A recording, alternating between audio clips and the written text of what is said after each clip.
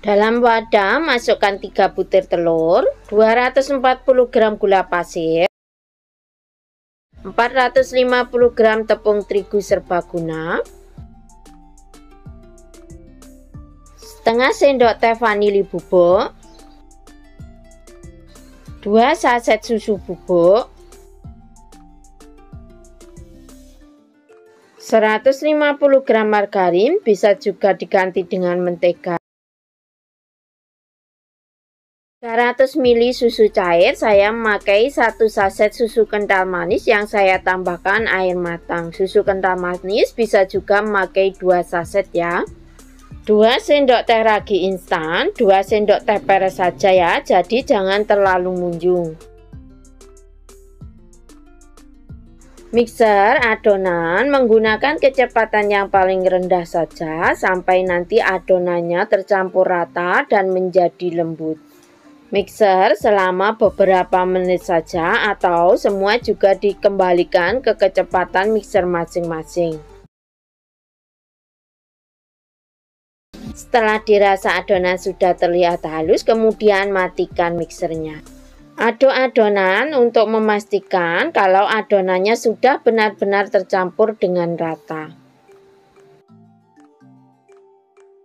Loyang saya memakai diameter 24 cm, tinggi 8 cm yang sudah diolesi dengan Carlo KW yang terdiri dari 1 sendok makan margarin, 1 sendok makan tepung terigu dan 1 sendok makan minyak goreng, dicampur rata kemudian buat olesan.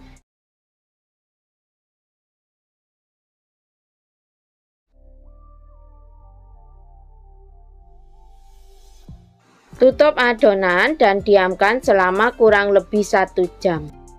Ini setelah saya diamkan kurang lebih satu jam. Kemudian saya beri taburan keju parut dan almond. Untuk taburan disesuaikan saja dengan selera masing-masing ya.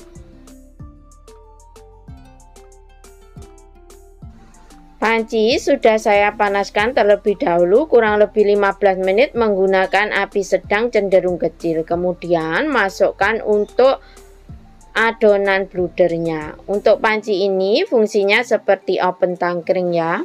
Kemudian panggang selama kurang lebih 60 menit. Bisa juga dikembalikan ke karakter panci atau jika memakai open tangkring dikembalikan juga ke karakter open masing-masing karena tiap panci dan open karakternya berbeda-beda.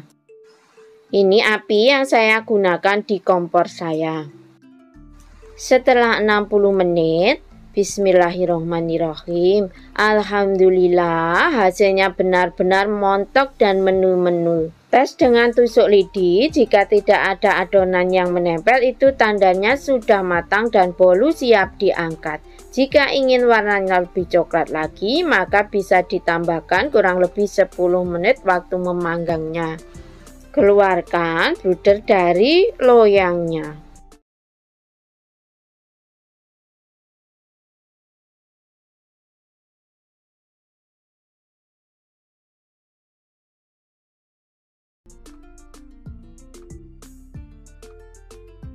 dingin kemudian potong-potong sesuai selera. Lihat saat dipotong sudah terlihat kalau hasilnya benar-benar super lembut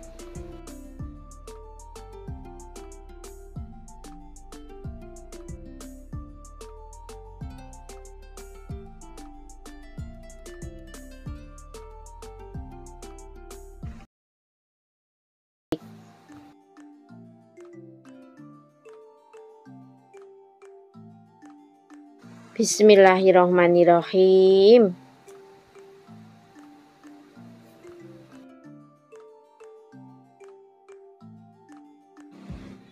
Masya Allah hasilnya rasanya benar-benar lembut dan enak sekali juga tidak seret